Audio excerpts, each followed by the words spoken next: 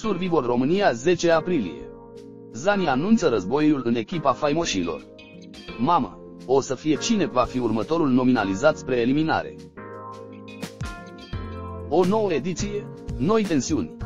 Ce se întâmplă sâmbătă, 10 aprilie, la Survivor România 2021? Se ascult cuțitele în echipa faimoșilor. Era de așteptat ca după eliminarea Ani Porgras din competiție, certurile să ia amploare, iar dacă până acum a fost calmă situația în echipa roșie, se pare că abia acum începe războiul.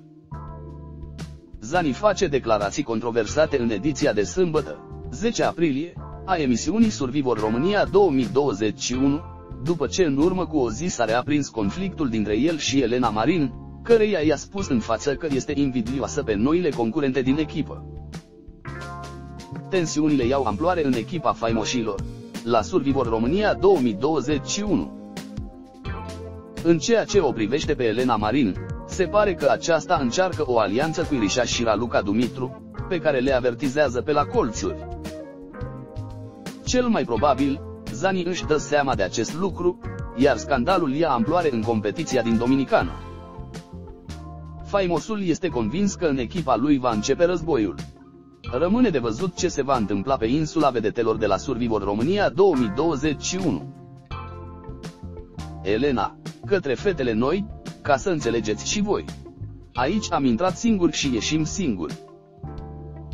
Raluca Dumitru, o să vedem adevărata lor față când nu o să avem imunitate.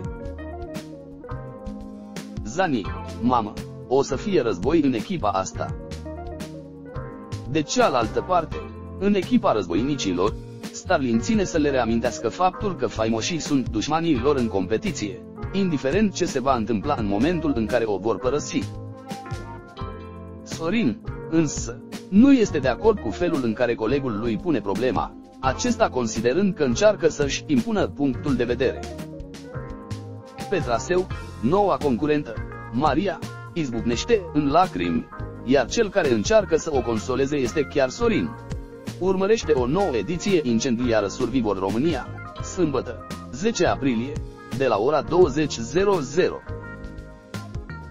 Starlin, afară ne pupăm și bem o bere împreună, dar aici înăuntru sunt dușmanii mei și nu mă interesează.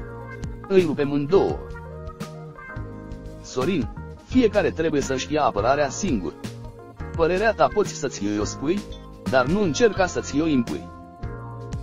Sorin, către Maria, încearcă să te ridici, să nu mai plângi.